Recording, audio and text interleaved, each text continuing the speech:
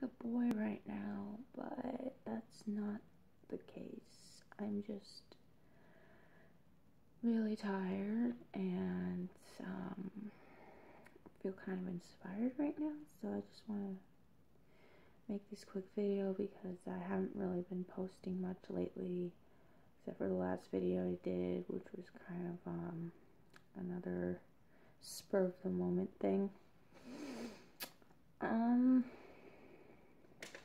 I'm gonna use a word that I get described recently by somebody who knows me pretty well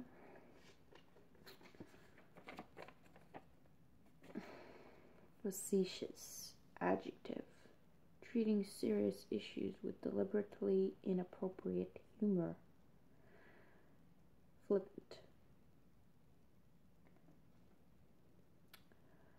I'm not facetious or flippant. I just come from a different side. I come from this side. Yeah, so um recently um a little update on Sitchin, Zecharia Sitchin. You can only take his word halfway there. Like the guy was a Freemason. He wasn't really I mean, he he said some stuff right, but a lot of it was entangled in mistruth. And um, basically, he was a misinformer. So I kind of lost faith in Sitchin, so that's just a part of growing up, I guess. Okay, so now I'm on Jim Marrs. Okay, he's dead too. Well, just gotta make the best of it, I guess, you know? But so far, I'm really enjoying this book. Like, I can't put it down. Like, it's really, like, it's really great to, like, come back to a lot of stuff and, like, putting everything together, and it just kind of makes sense. So, um, yeah, I'm reading our occulted history right now, which is um basically it starts off talking about how the moon is an artificial object and it's probably hollow and the reason why a lot of the reasons why we don't hear about all this stuff is that well number one the most um what's the word if you want to be very um literal they don't want to rewrite the textbooks just because one or few handful of scientists come out with papers challenging the the mainstream uh, perspective. They just don't want to go through all the trouble of having to go back to all the textbooks and anthropology and having to rewrite everything because everything that they just wrote basically doesn't apply anymore. Once you take into account some of the more better explanations as to why there's a moon in the sky for example not even going into everything else like um, skeletons and uh, I mean, there's a thing called, um, what was it called?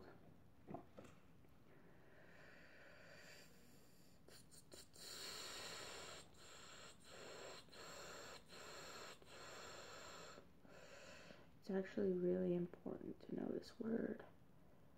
Um, so I'm going to look for it right now. Um,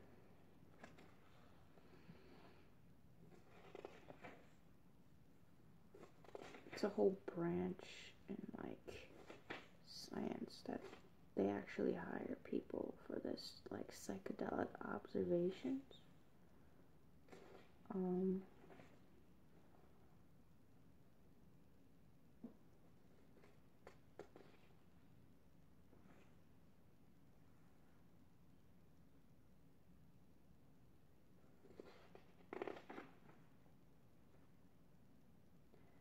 remote viewing. department.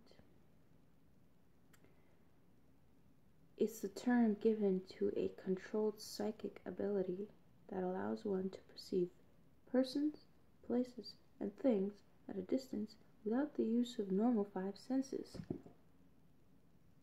So, what is going on over there? Are they taking like psychedelic drugs over there now? Are they like testing little psychedelic drugs and like sampling them and giving them out to like remote viewing department of the like NASA department? And like they're sitting there on these drugs and looking at the moon and they're trying to figure out what they don't see with their five senses, but what's their psychic ability able to see? like, that's kind of like, it kind of blew my mind just reading that, discovering that just few hours ago. I'm sipping my tea right here. A little caffeine to get me. Yeah, so I think that's crazy that um this is going on right under our noses.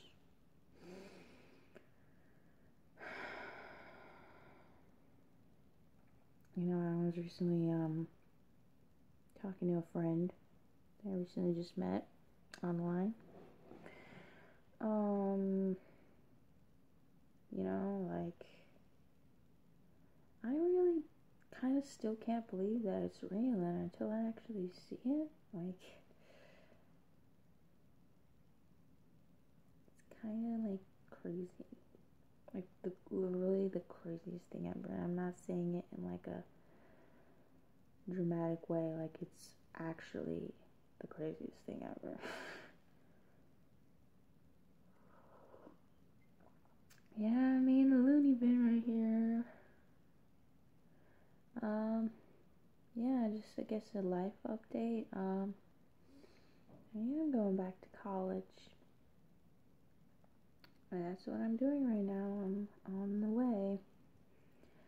So, uh, for those of you who ask if I'm going, if I am, I'm on my way. Um, otherwise, I kind of am in a shitty situation.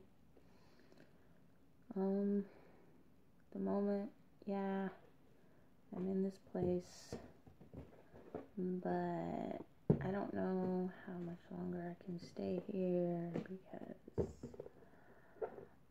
very, very complicated situation that I am not even completely understood what's going on.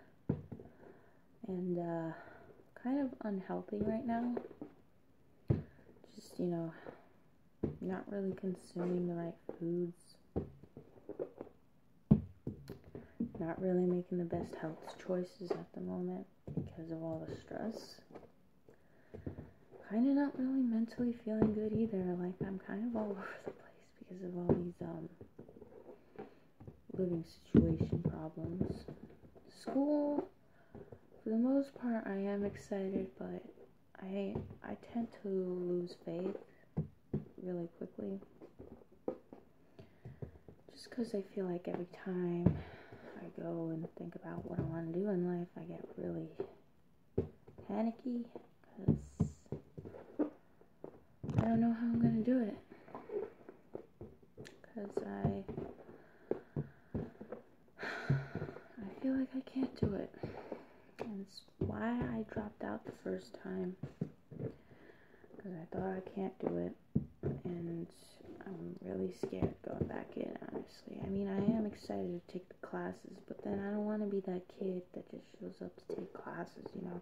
Everybody goes to college for a reason for the most part. They don't just go because um, they enjoy learning. I mean, some do, but for the most part, everybody has friends and uh, goes to school for a reason to make money and have a job and blah blah blah and something to put on their resume. And I'm over here like reading Jim Marrs and Zecharia Sitchin for fun because I have no friends.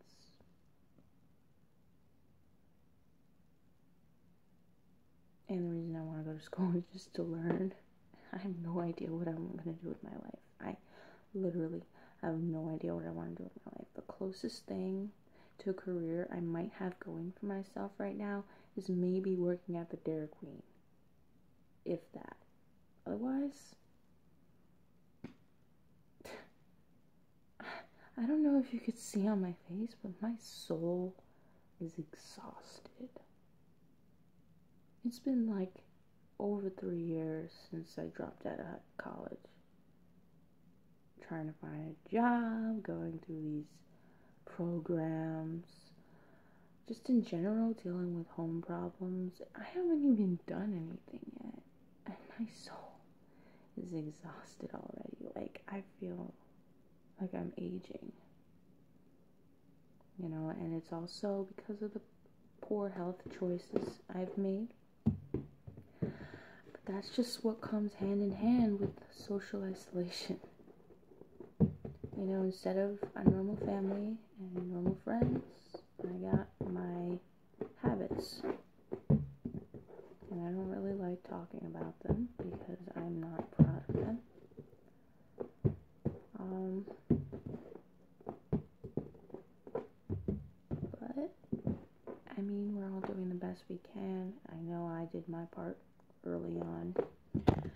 And right now, I'm really not so uh, optimistic about the future. But I'm still praying to God. I'm trying to keep my soul clean for the next life. Because if I can't make it here, at least maybe I could get to somewhere else afterwards. That's all I'm hoping for. And that was my two cents of wisdom. Thanks for watching and uh, keep your friends. Because you never know when you might need them. Keep the fake friends away, but the, the just do your best, dude. Don't follow anything I'm saying.